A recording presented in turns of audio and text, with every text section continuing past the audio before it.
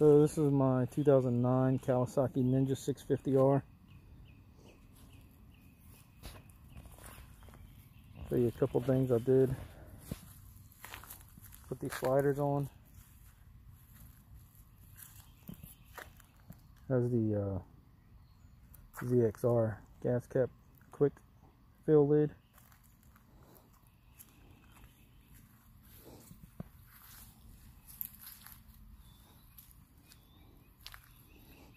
Painted this match the bike.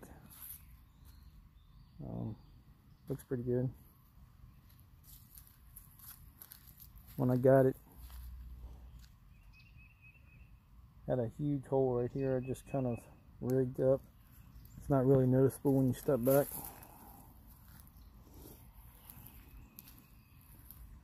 Got the uh, LED headlights